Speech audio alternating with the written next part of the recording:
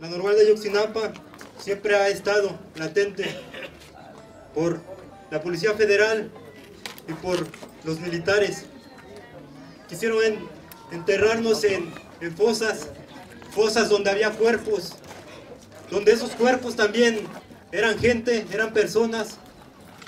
No sabemos quiénes son, tal vez fueron migrantes, tal vez los plantaron para hacer un teatro como el que quisieron hacer cuando también dijeron que estaban quemados en un basurero. Nosotros no vamos a creer ninguna versión de la PGR porque nos acercan a la realidad. Este maldito gobierno de Enrique Peña Nieto y queremos que nos escuche que los estudiantes de Ayotzinapa no, nunca nos vamos a cansar por buscar a nuestros 43 compañeros. Quisieron incrustar el miedo y es una herramienta que siempre utilizan. Pero queremos decirle que hasta eso ya nos quitaron. A nosotros no nos importa lo que vaya a hacer. Nosotros vamos a seguir en nuestra lucha por la aparición de nuestros 43 compañeros desaparecidos.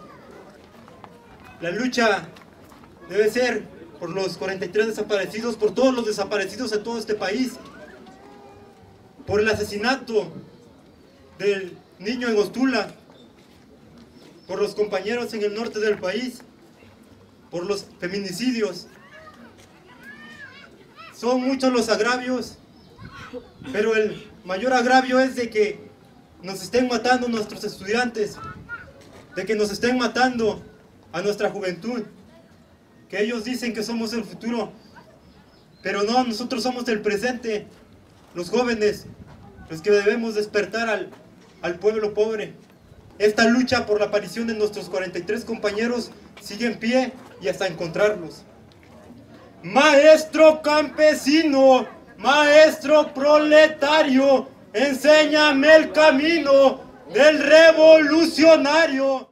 Simplemente creemos que todos los movimientos deben estar enlazados y bueno, los zapatistas también están en apoyo a los padres de familia y nosotros también estamos con el movimiento zapatista porque sabemos que hoy los movimientos no tienen que estar dispersos, tienen que ser uno solo. ¿Por qué Chiapas? Bueno, porque Chiapas es el ejemplo de la insurgencia y de la autonomía y creemos que si avanzamos juntos lo vamos a lograr todos, por eso. Gobierno fascista que mata normalistas. Gobierno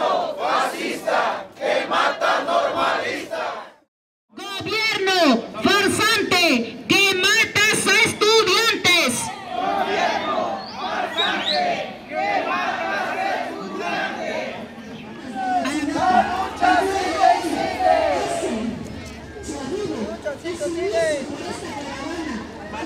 Les pedimos de favor si pueden arribar a este monumento para que podamos anunciar en el momento que tomarán la palabra para dar su... Compañeras y compañeros, es una verdadera responsabilidad estar ante cada uno de ustedes y sobre todo en esta emblemática plaza de la resistencia, Plaza de la Paz, frente a la Catedral de Don Tatic Samuel, el día de hoy para dar la bienvenida a nombre de la Coordinadora Nacional de Trabajadores de la Educación, a nombre del Consejo Central de Lucha de la región Altos de Chiapas y a nombre del Bloque Democrático de la sección 7 del CENTE y de la CENTE en el estado de Chiapas. Buenas tardes, señores. Antes que nada, ¿verdad? Yo voy a darle las gracias aquí a este lugar, ¿verdad? San Cristóbal de las Casas, por habernos recibido. Se siente el calor que nos brindan, la seguridad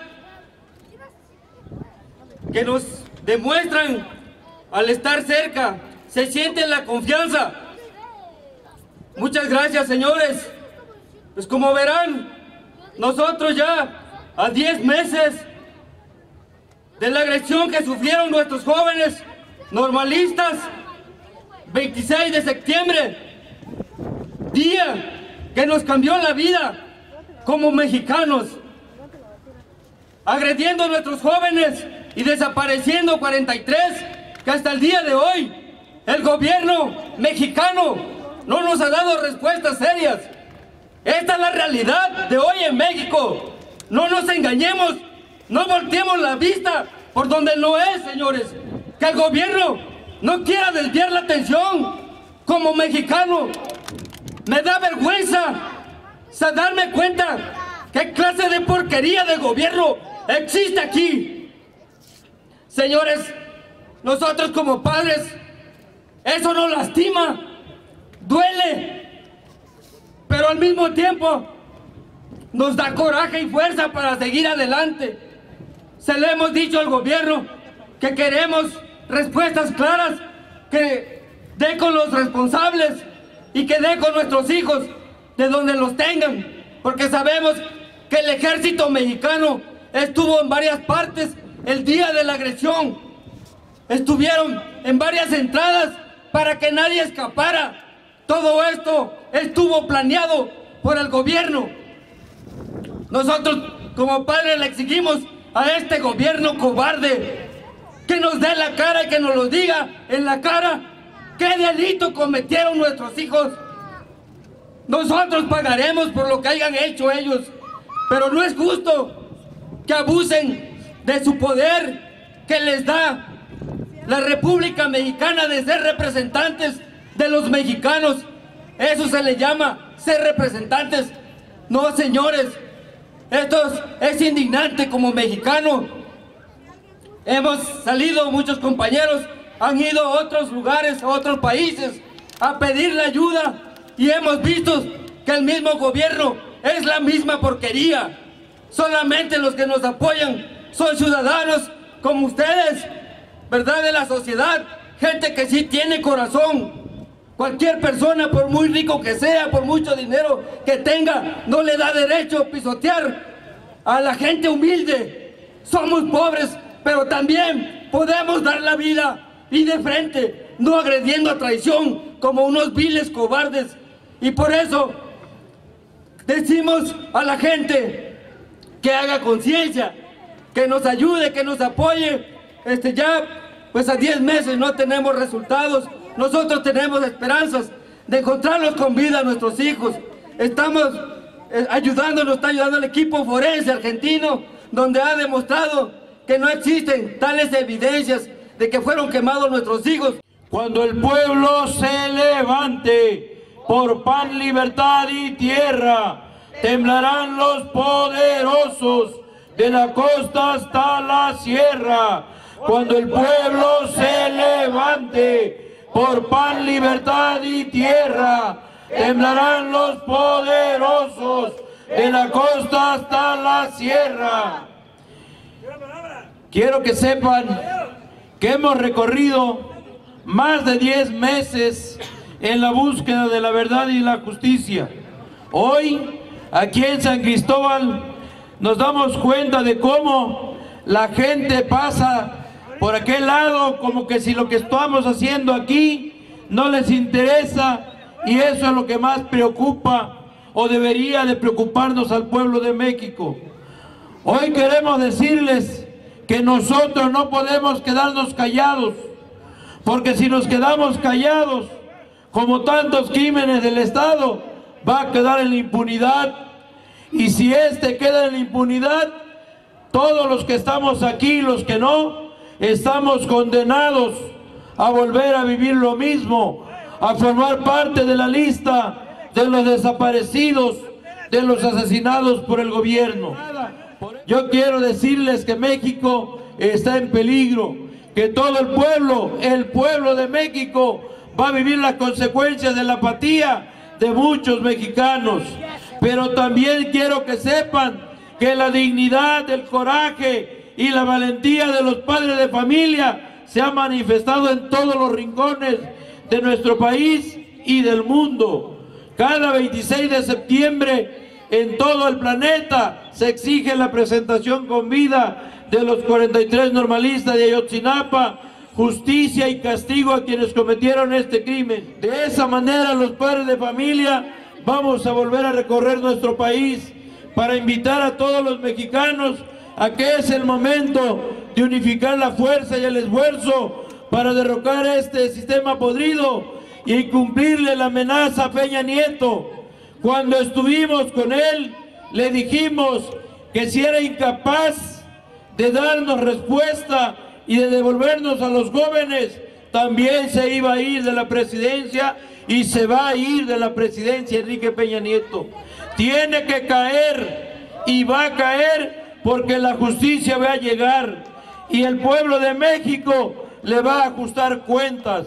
Y de eso nos encargamos nosotros los que estamos aquí parados para recordarle que no ha cumplido sus 10 compromisos que él firmó y como tal se tiene que ir porque no puede gobernar un país tan grande, rico, poderoso y noble y entregarlo a las grandes empresas. Por esa razón, este sistema tiene que caer y para lograrlo tenemos que estar todos unidos.